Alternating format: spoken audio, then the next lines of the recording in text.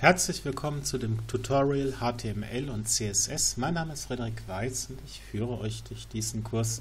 So, wir hatten angefangen, uns einige wichtige Befehle anzuschauen und diesmal möchte ich euch ein paar Sachen zeigen, die nicht auf der Internetseite angeschaut werden, die aber trotzdem wichtig sind und oder angezeigt werden, Entschuldigung, die nicht auf der Internetseite angezeigt werden die aber trotzdem wichtig sind und das erkläre ich euch diesmal. So sieht unsere Seite zurzeit aus.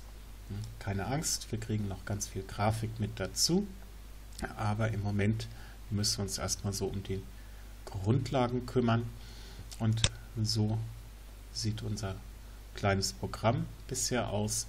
So, und hier in dem Head-Element da programmiere ich lauter Sachen rein, unter anderem die Sachen, wie eine Suchmaschine mich finden kann. Und das ist ja für eine Internetseite nun sehr, sehr wichtig. Und dazu gibt es einen einzigen Befehl mit einigen Unterbefehlen und das ist der Befehl Meta. Der steht auch in Winkelklammern, aber der steht nicht alleine da. Dazu gibt es dann noch einige sogenannte Attribute. Und die Attribute, die werden auch immer in die Winkelklammern geschrieben, gehören immer zu einem Tag mit dazu, hier zu dem Meta-Tag eben, und stehen dahinter. Und zum Beispiel kann ich hier reinschreiben, Name ist gleich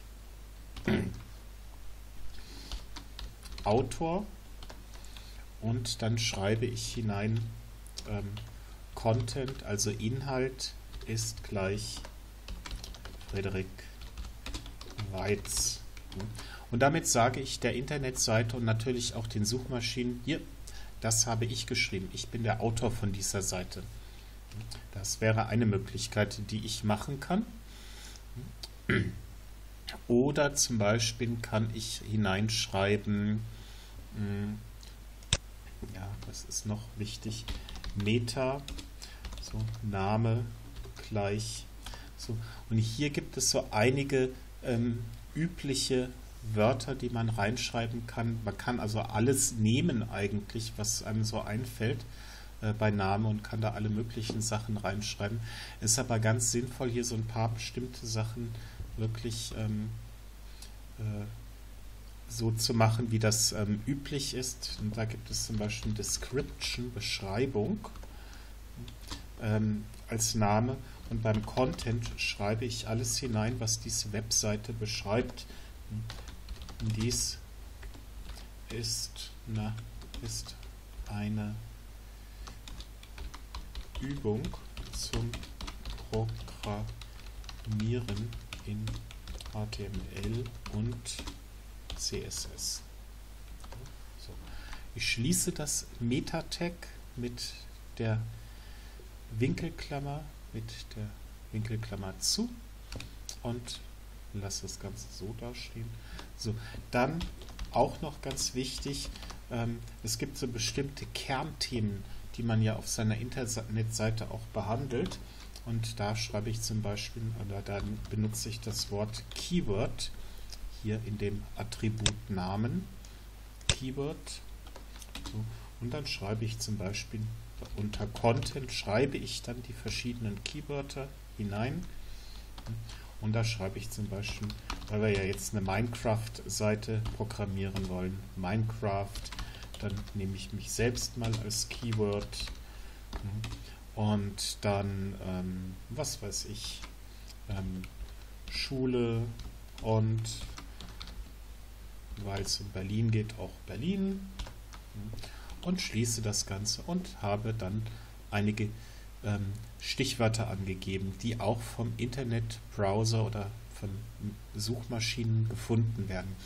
Und das ist das Wichtige, wozu man eben diese Metas ähm, hier oben hineinschreibt, ähm, damit man von Suchmaschinen gefunden wird. Das ist so eine Möglichkeit. So, jetzt gibt es noch ein paar andere Sachen. Es gibt zum Beispiel den, ähm, oder nee, Moment, wir speichern das Ganze jetzt erstmal ab und so.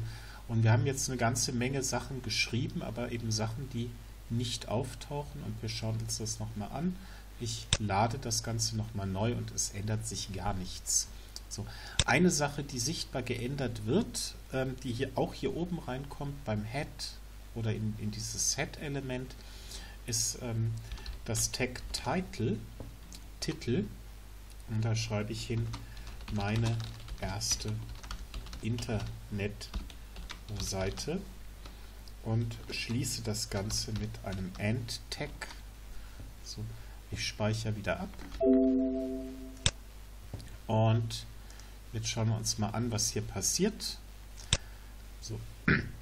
Und wenn ihr hier nur auf die Seite geschaut habt, dann denkt ihr, hm, ist ja gar nichts passiert. Aber wenn ihr hier oben auf diesen Reiter schaut, da seht ihr, jetzt steht da plötzlich meine erste Internetseite. So, mit Titel ändere ich hier oben, was hier oben drin steht. Und das ist ja sozusagen so die erste Visitenkarte. Das heißt, ihr solltet immer, wenn ihr eine Internetseite programmiert, auch einen Titel dafür auswählen. Gut. Und ähm, hier oben in dieses Set-Element kommen noch eine ganze Menge mehr Sachen hinein. Da zeige ich euch im Laufe des Kurses noch eine ganze Menge. Aber wir werden beim nächsten Mal erstmal wieder weitermachen und werden uns hier unten um unseren äh, um das Auftreten von unserer Internetseite kümmern. Gut, ich hoffe, das war jetzt nicht zu langweilig für euch, weil es ist tatsächlich so Hintergrundkram, ähm, wo man so sagt, naja, ich möchte auch auf meiner Internetseite was sehen und ja und so. Ne? Und ähm, finden sollen mich die Leute erst später, aber es ist wichtig. Ne? So, und ich denke, das solltet ihr im Kopf behalten, dass ihr solche Metatext dann auch gut auswählt und sie auch fleißig benutzt. So, ähm, ich hoffe, es hat euch trotzdem gefallen. Dann drückt mir bitte einen Daumen hoch und wir sehen uns beim nächsten Mal wieder und werden jetzt dann wieder in die Darstellung hineingehen. Bis dann.